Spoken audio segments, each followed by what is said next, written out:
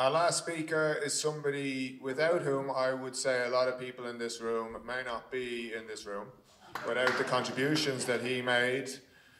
He's somebody who, at a period of time, emerged to articulate what was desperately needed for millions of working people, which was an alternative, a voice that said, politics is not this miserable thing. Politics does not have to be something which is only something you see when it's making your life worse, when it's attacking your terms and conditions, when it's something that is riven with the interests of big business and corporations. Politics can be something that you get active in, that you change, and that can change your life.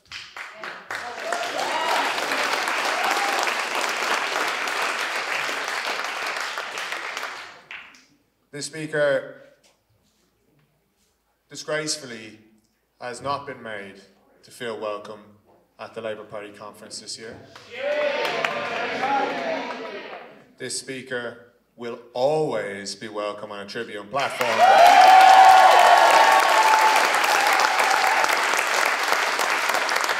Please welcome to the stage Jeremy Corbyn MP.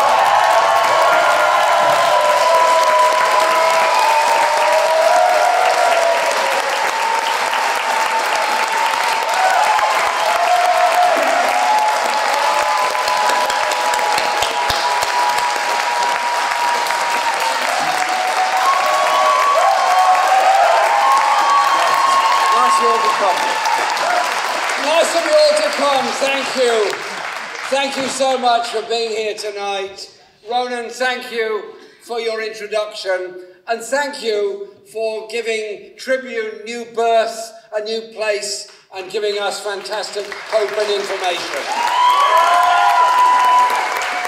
And as one who started reading Tribune in the 1960s, yes, it was around before me. It's even older than me. I used to go into W.H. Smith's in Newport, Shropshire. Don't joke about it. Might not be there now, but it was there then. We're very proud of our Smith's store, if you don't mind. No jokes, thank you. And I'd go in there and say, um, they reserved Tribune for me. It was the. Uh, it wasn't strictly necessary because I don't think anybody else was trying to buy it. But nevertheless, they very kindly reserved it. So there was this palaver every time I went in. I said, I've come to pick up the Tribune. And this guy would say, Is a gentleman's tribune in the store?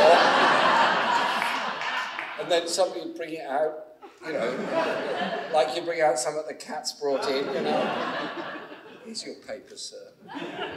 And uh, Tribune was a place that the left in the Labour Party and left in society could challenge ideas, give expression to ideas, and it was always, as is Tribune, an amalgamation of ideas, of art, of culture, of music, and above all, of hope and information and giving inspiration to each other. And I'm going to say a bit more about this later on. Unless we do something about the way in which uh, we communicate with each other, and we get control of some degree of media for us to get our message across with our own values, we're going to face greater battles in the future. But I'll come back to that in a moment. But we are here in Brighton at Party Conference. I want to say a couple of things. First of all, personally, an enormous thank you, an enormous thank you to an awful lot of people that have been personally very kind and very supportive to me. Laura, to my sons, and to um, my local party, Islington North Party, and to comrades. Yeah, I knew, I knew you'd be, I can't see you with the light, but I knew you'd be here. Yes. That sounds just like BC Williams down there.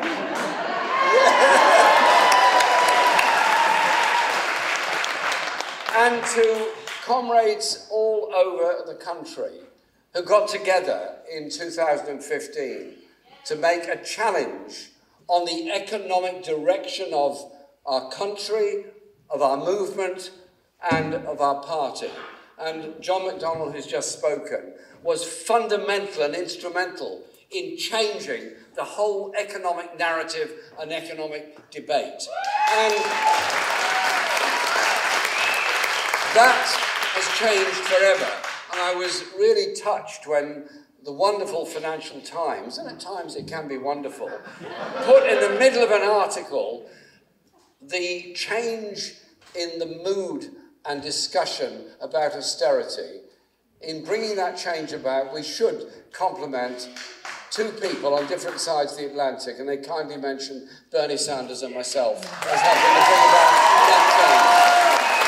So it is, it is about those fundamental changes that we achieved, and I want to say a huge thank you to so many people and all the ideas that they brought forward and all the ideas they still bring forward and all that we have to do together because you bring people together with hope, with enthusiasm, with expectation, and that way you cut across the cynicism of the right wing media, the cynicism of political commentators who can only ever sort of do things by triangulation. They can never do things by the basis of principle. And I want to say a big personal thank you to Andy McDonald for the letter he's written today. For being, being a fantastic comrade for many years and for bringing forward a sensible, practical, publicly owned, publicly run principle for transport in the system all across this country before he went on to pick up the great work done by Laura Pidcock and others in developing, in developing an employment policy.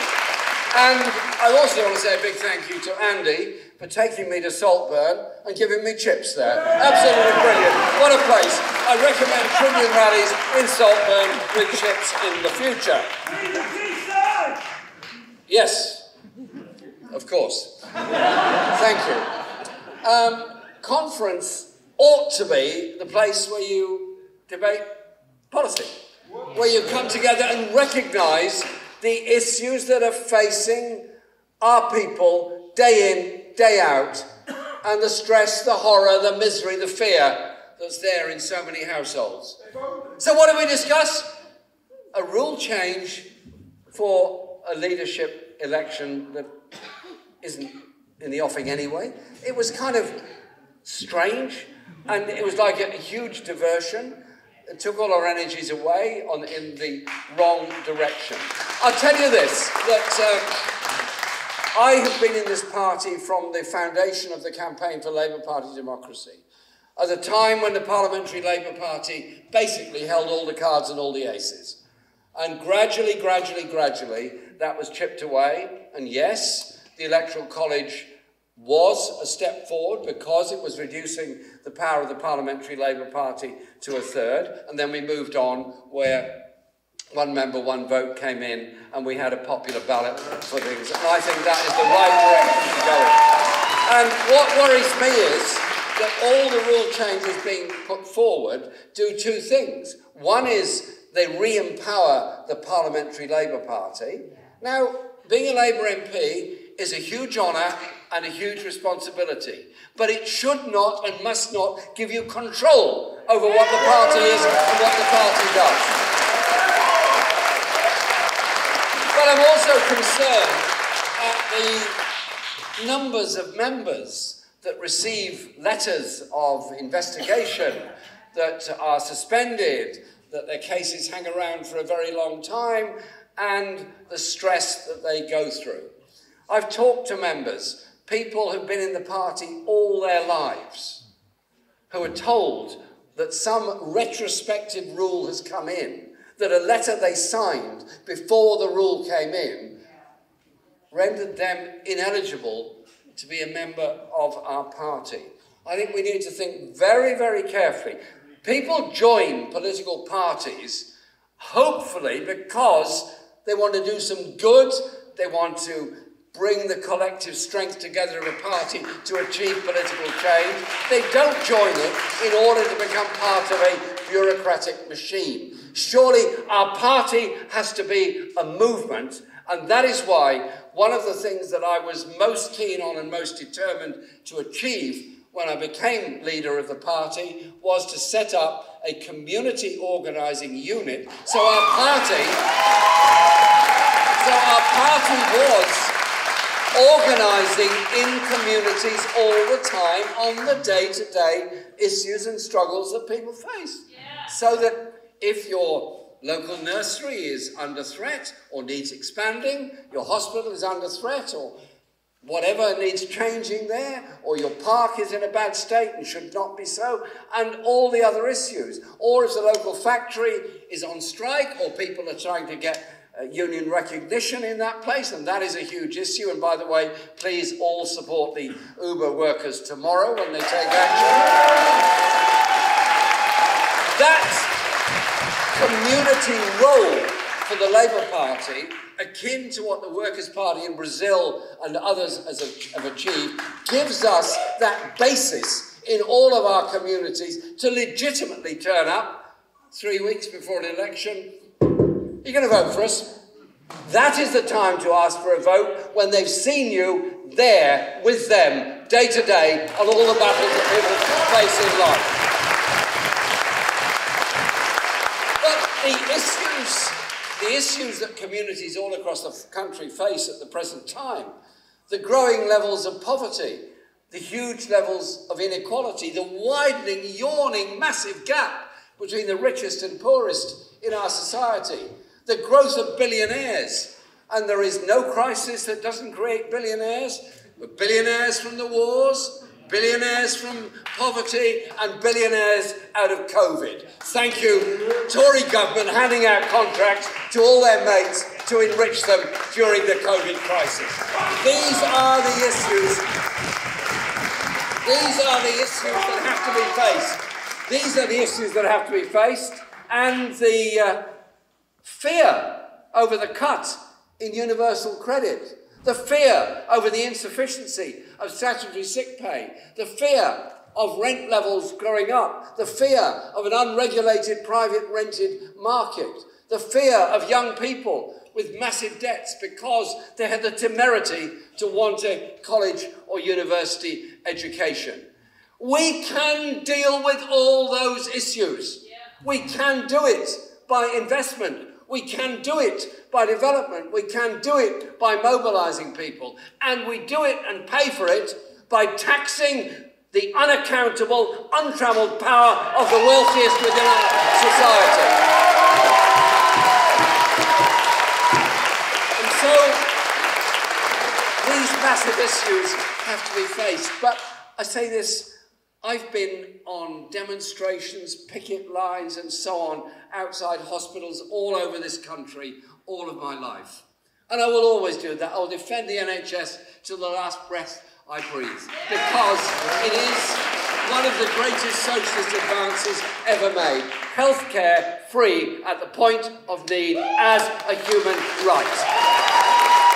But it's under threat, it's under attack. That we all know. And so, in campaigning to defend the NHS, let's also be positive and say we want a fully publicly owned NHS. Yeah. And if the NHS cannot cope with the backlog of um, elective surgery operations and so much else at the moment, which it is having great difficulty doing, then they're saying, well, people are going to private medicine in order to get operations. Now, I understand the, the problems and fears that people go through. Isn't that the perfect moment, the absolutely perfect moment to say, well, folks, we have these health facilities all over the country. Take them over and put them in the NHS.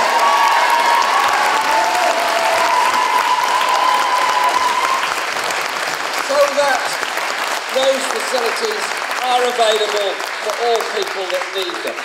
And at the same time, we've gone through this whole stuff about care. Well, carers are some of the most skilled, responsible people that we have within our society. Our loved ones, elderly relatives, younger people who've got profound difficulties and problems rely on, the, on care workers to look after them.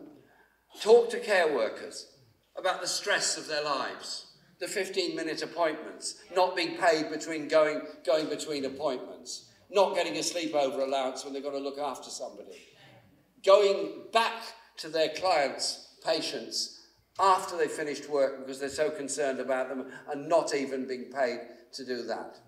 All done on minimum wage. It is disgusting and disgraceful.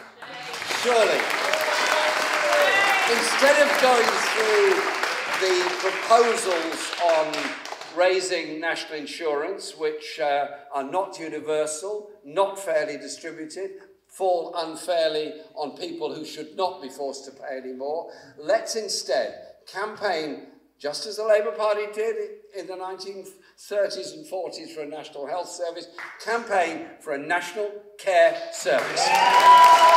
Free, free at the point of need and paid for through general taxation. These issues mean that you have to actually confront power structures in our society.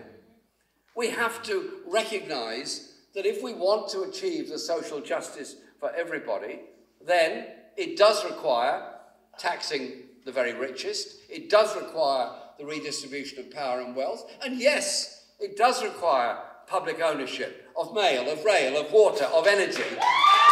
And, and following the industrial policies put forward by Becky and by John and Andy and others, we committed ourselves to the uh, empowerment of workers to be represented in their companies, to have a right to take over a failing company, and for the funding for the establishment of cooperatives. A fundamental empowerment of the working class of this country. That was the whole point behind those policies. And we should never shy away from them. We should never apologise for them. We should actually be very, very proud of those policies. And then, those are just some of the issues that so many people face within our society. Those suffering because of the way in which uh, the disabled are badly treated, discriminated against, young black people discriminated against and not gaining the best they could, Islamophobia, anti Semitism, any other form of racism is totally unacceptable in any shape, way, or form within our society, and it's the labour movement that brings people together in all our diversity to recognise why we have to fight these things. And I will be in Cable Street next week commemorating commemorating when Jewish and Irish workers came together to confront the fascists who were trying to march through the East End. And we will be joined by very large numbers of people from the Muslim community in the area as well. That is what labour movement solidarity can do and can achieve. We live in a world of a crisis. The crisis of climate change, the crisis of pollution, the crisis of the loss of biodiversity, of natural habitats and natural spaces. And we have COP26 coming up.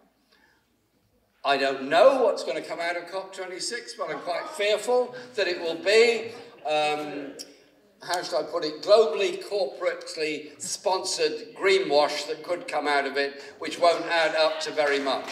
The reality is, it's the poorest people in the poorest places, in the poorest countries, as well as the richest countries, who breathe breathe the foulest air, drink the worst quality water, have the worst quality health service, have the shortest life expectancy, and are the first ones in line to suffer from climate change and global warming. It is grossly unequal. There has to be a way forward which isn't about redistributing power and wealth in the wrong way, but it's recognizing the class issue that is there in environmental politics as well. And when, around the Shadow Cabinet table, we discussed the Green Industrial Revolution, Becky Long Bailey led the charge on it, and she said, quite rightly, if it's not acceptable to the people I represent in Salford, or any other industrial part of this country, it's not going to happen and it's not acceptable. We have to environmentally change our way of thinking and our industries, our transport systems, heating systems, and everything else by investment, by creating jobs, by skilled work, but above all, by trade union action at the workplace to make their place more environmentally sustainable. That is why I ask you to be part of the demonstrations on the November the 5th in the workplace and November the 6th on the streets of London. And then there's obviously going to be huge events going on in Glasgow where I hope the people from the global south are heard. I hope those from Bangladesh and the islands in the Indian Ocean are heard. And those that are suffering so much are properly heard. That surely has to be the right way forward.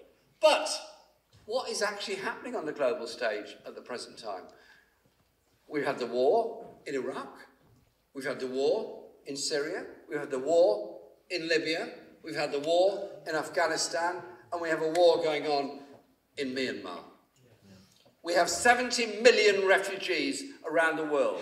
Refugees from war, from famine, from climate change, from human rights abuse, from dictatorships and those 70 million people all want to lead their lives, all want to live and survive somehow with their place in the world. When the history books are written about the 21st century, they'll say, What was going on when those people were so desperate to survive that Europe put up barbed wire around the continent, that Britain sent boats out into the channel to deter them, and racist abuse was heaped upon them, and the poorest countries in the world housed the largest number of refugees. There are one million Rohingya refugees in Bangladesh, for example, and there are many other countries in the world that are housing very large numbers of refugees. So, cannot we find it somewhere to lead with a human heart and a human face towards these people rather than describing them as enemies and threats as have been done at the present time. So it is about an international strategy that's based on peace, on justice, on human rights. It is about an international strategy that's worthy of the name. But what have we got in the past week? The Australia UK US pact. Now, what on earth is that about? I'm old enough to remember opposing the Vietnam War in the 1960s. And the realization by the then British government of Harold Wilson, with whom I profoundly disagreed on Vietnam, but there was another point that he made that was a very important one that Britain as a post imperial power, could not afford a global role. Hence, all forces were withdrawn from east of Suez. What Boris Johnson has done is put us back into being a global role.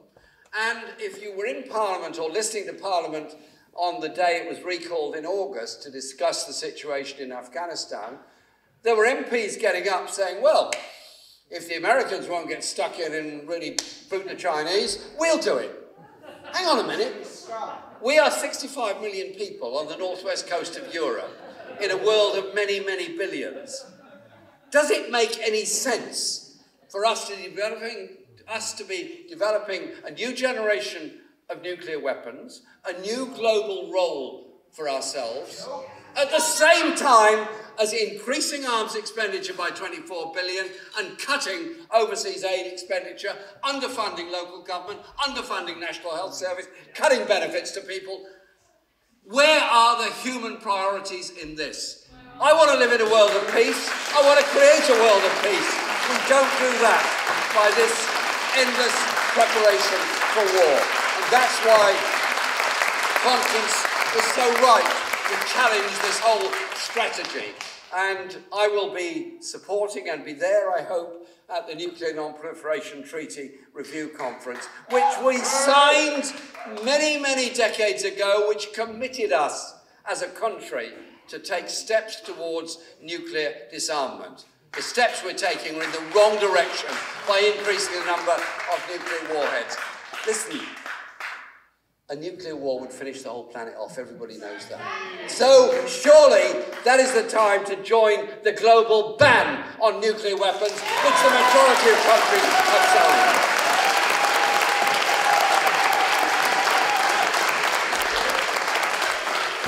The arms trade is a very powerful lobby force. And we were in Liverpool opposing the arms fair, the electronic arms fair being held there, and many in London opposed the arms fair in London. And that arms trade is lucrative, and arms dealers do all kinds of shady stuff. And I want us to help the people of Yemen. I fully support the overseas aid that goes to Yemen to help children get through and so on. I support all of that. But why, oh why, are we providing the weapons to Saudi Arabia in the first place that bomb Yemen, that brings about that disaster that those children are facing? So it is about confronting that. Now, all of these issues that we've talked about here this evening and all the issues that we all care passionately about have to be argued for, have to be campaigned for, and they do challenge a very powerful set of assumptions in our world. That's why it's so important. When we heard earlier, fantastic, fantastic speech from Nina from the United States and everything that she said that she's put forward. And I had the pleasure earlier on of an hour-long conversation with her. It's been recorded, it's okay, you'll all see it if you want to. And it was wonderful, because we talked about how people are mobilised and how young people particularly are mobilised all around the world. And that means we have to mobilise for hope. But it also means we have to have some way of communicating with each other. Tribune, with its message here, was set up a very long time ago in the 1930s. It was set up in order to uh, make sure the voice of socialism, the voice of the left could be heard. We now have very powerful media. We have the Murdoch empire, we have all the other media empires. We also have the Facebook, the Google, the YouTube empire as well. And like all empires, they get a bit nervous at times and they have great power. So when the Indian farmers needed to communicate with each other, needed that chance to talk to each other at a crucial time in their campaign against the new agricultural law in India, what happened? Every single bit of their electronic communication was shut down and closed off. Shame. That Shame. is what untrammeled power does when working class people try to communicate with each other. Just as Tribune was set up to be a voice for socialists, the Morning Star, so many other papers, Canary, Double Down News, Skwawkbox, all the others that are there in order to give that voice. We need to bring those forces together. We need our own access to TV. We need our own access to radio. Above all, we need that ability to talk to each other. And the one thing COVID has taught us is that it's perfectly possible to have a very good meeting without even leaving your living room online. Now, okay, we all get a bit zoomed out at times, a bit fed up with it. But it has meant that people who, for good reason, cannot get out and go to meetings from distance, for disability, care, whatever, their issue is, have been able to be part of our movement. Now, I should imagine pretty well everybody in this hall is involved in political activity in some way or the other. Can I just make this little plea to you? As you organise meetings as the months go on, and more and more are held physically rather than virtually, don't forget those that can't come. Have a hybrid meeting. Have a hybrid meeting so that others can take part in it and we don't isolate and disempower people. We live in a time of crisis. We live in a time of immense danger to this world and to our own, the fabric of our own society.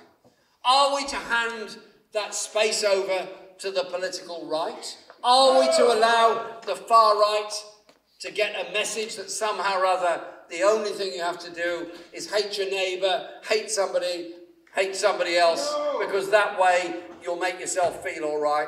Or do we get that message out that it's only people and communities coming together. It's only the principles of socialism that can actually deal with these issues, and that we should be unashamed of our past, our history, and of our, our determination to bring about that fundamental change in the world. And so it is all about confidence and hope. Now, not being in office is a lot worse than being in office, obviously. If you're in office and you've got a control of a council, of a parliament, anywhere in the world, you can try and do something. You can achieve things. Matt Brown was talking earlier about the stuff he's achieved. Yes, you can. But you're not a god, you're not infallible, and you're not superhuman.